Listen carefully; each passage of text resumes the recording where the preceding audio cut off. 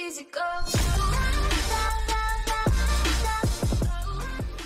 Hey guys, welcome back to another video. Today we're going to be reviewing the 26, 2017 C6 3S inside of Pembroke Pines. Now, Pembroke Pines just had an update and there's just a new building and a few new cars in the game. You can see there's a building right here and they added a big fence where I do all my intros.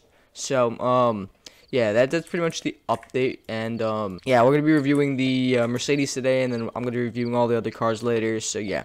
Also, one more announcement before I get into this review. Limited high Highpot merch available on my Roblox group. Check it out. It's going to be for two weeks. It's the Highpot 900 merch. It's kind of under your armpit, but it's fine. It looks kind of nice, so I recommend you buy it. And, uh, yeah, so looking at the car, it looks pretty cool. I've seen somebody in real life have it. Uh, they're actually my neighbors, and they're pre it's a pretty cool car. Um, it, it looks really, really nice, and it sounds pretty nice. But what about the uh, startup in the game? Ooh, I like that startup. That startup is nice. But how long is it going to go for?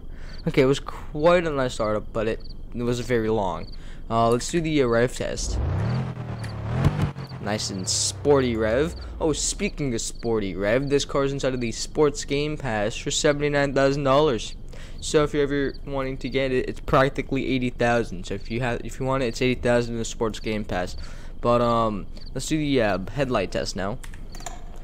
Ooh, headlights. All right, headlights, classic Mercedes headlights.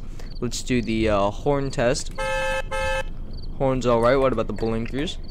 I like the blinkers. They look really nice. Um, what we're gonna do now is we're gonna get onto the street and we're gonna do the top speed test.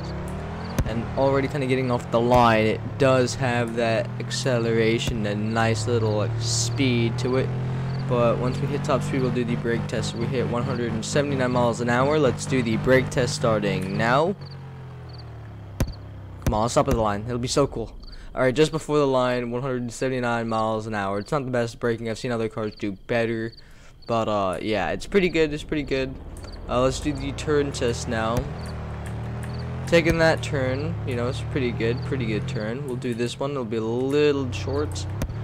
I hit the curb, but it took the turn quite well. Let's go a little bit more out and take the second lane. It slid out just a little bit.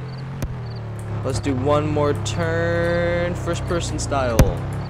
Yep, it slid out just a little bit. So the car slides out if you don't kind of like brake a little bit before the turn, I guess. But uh, yeah, I hope you guys did enjoy today's video, if you did, leave a like, subscribe, comment down below. And I already ranked this car, you know, an 8.5 out of 10. And yeah. I'll be reviewing all the other cars in the new update, and I'll see you guys in the next video. Goodbye!